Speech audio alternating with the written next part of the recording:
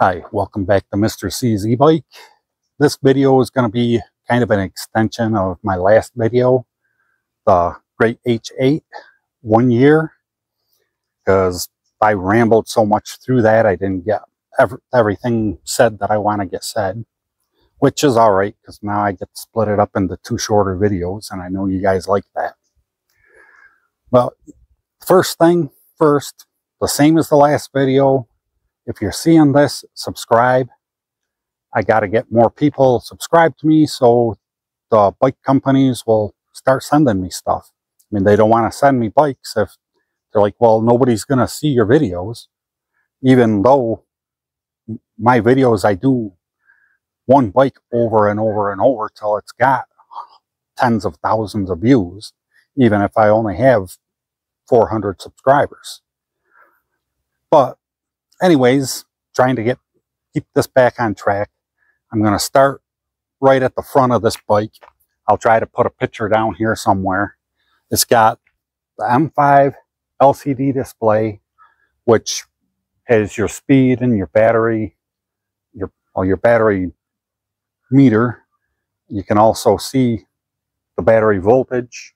It's got the sub menu where you can go in and change all your settings to get the most out of your bike.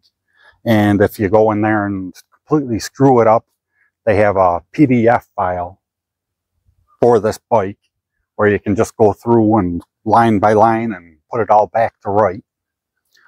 And that has got a half twist throttle with a keyed ignition.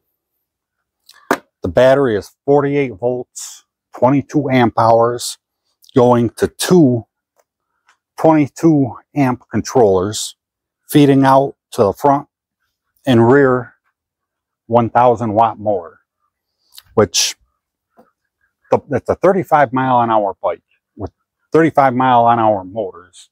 And doesn't matter how many motors you put together, it's 35 miles an hour. But with the torque, it multiplies and each motor puts out 82 newton meters of torque. And with that, you got 164 newton meters of torque, which this thing will leave, I mean, from the start, it'll leave just about anything else, well, anything else with just the rear wheel drive in the dust. And starting back up at the front, it's got unbranded Zoom brakes.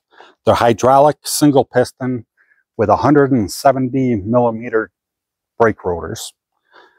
The tires are 26 by 4.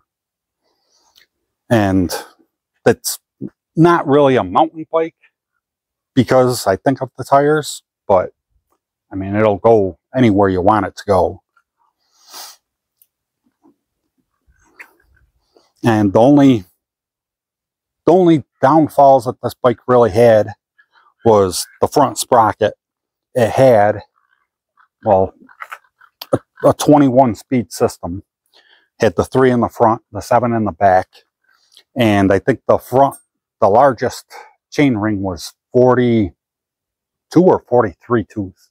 I don't remember now, but I changed this out for a 40, or yeah, for a 53 tooth, which gets rid of a lot of that ghost pedaling.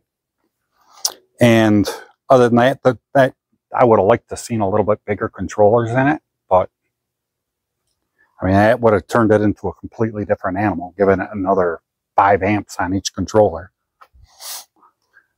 And other than that, you get, if you squeeze every last mile out of this battery, you can get around 70 miles.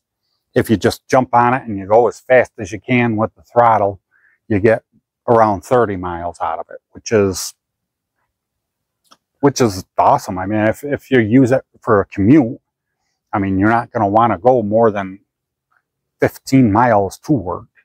And I mean, even if, if you do, I mean, you pedal a little bit, it wouldn't be hard to get 20, 25 miles to work and still have enough battery to come back. What else can I say about it? It's got a nice bright headlight. that I'm going to have to show picture of that down here or move the camera. one of those two things is going to happen. And it's also got a tail light on it that, that lights up when your lights are on and that uh, gets brighter when you squeeze the brakes.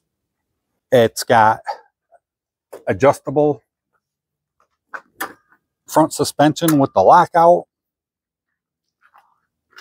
And it comes with a rack that's not this one,